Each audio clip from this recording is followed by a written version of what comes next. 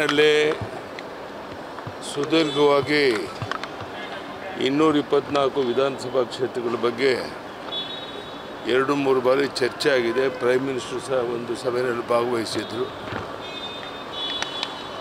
ಬಹುಶಃ ನಾಳೆ ಒಂದು ಪಟ್ಟಿಯನ್ನು ಬಿಡುಗಡೆ ಮಾಡ್ತಾರೆ ಅನ್ನುವಂಥ ವಿಶ್ವಾಸ ನನಗಿದೆ. ಯಾವುದೇ ಗೊಂದಲ ಇಲ್ಲದೆ ಚರ್ಚೆಗಳಾಗಿದೆ. ಅಂತಿಮವಾಗಿ ಹೈಕಮಾಂಡ್ ಏನು ತೀರ್ಮಾನ ತಗೊಳುತ್ತೆ? ಅದಕ್ಕೆಲ್ಲ ನಾವು ಭದ್ರಾಗಿರಬೇಕಾಗತ್ತೆ.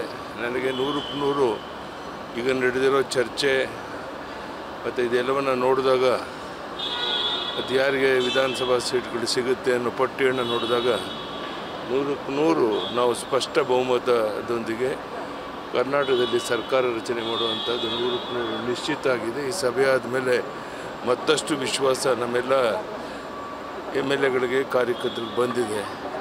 ಸೊ ಇವತ್ತು ನಾಳೆ ಅಥವಾ ಬಹುಶಃ ನಾಳೆ ಪಟ್ಟಿಯನ್ನು ಬಿಡುಗಡೆ ಮಾಡಿ ಸರ್ ಎಷ್ಟು ಕ್ಷೇತ್ರಗಳದ್ದು ಬಿಡುಗಡೆ ಮಾಡ್ಬೋದು ಸರ್ ನಾಳೆ?